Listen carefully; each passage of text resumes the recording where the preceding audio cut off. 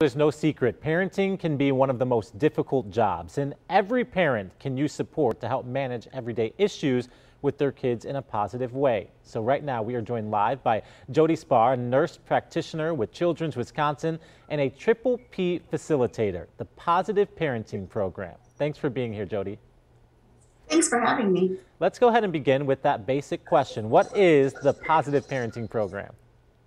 Well, Positive Parenting Program, or as we refer to it as Triple P, the P's stand for obviously the Positive Parenting Program.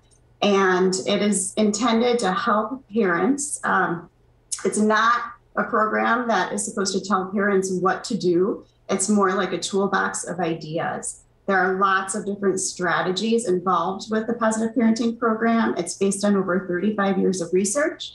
And the idea is that parents can pick and choose which strategies fit their needs. Yeah, and obviously, you know, every parent is in a different situation. There's parents of teens, little kids. Who's best suited for Triple P?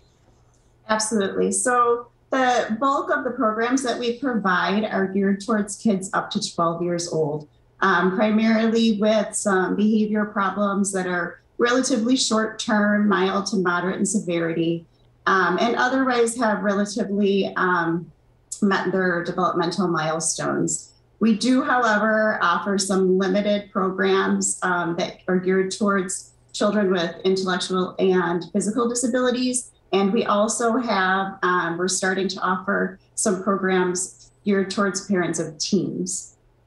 Yeah, important for parents to know that they don't have to go through some of these challenges alone, right? What kinds of events and workshops are being offered right now?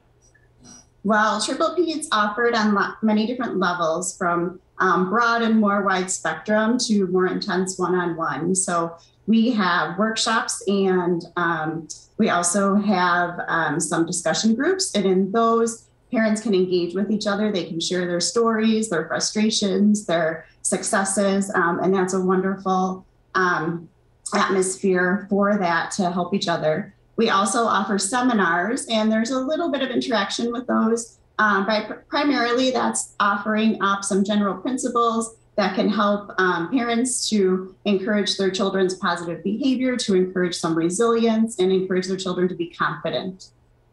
Well, Jody, thank you so much for joining us live here on TMJ4 News at noon and letting us know about this program. We appreciate your time and your perspective.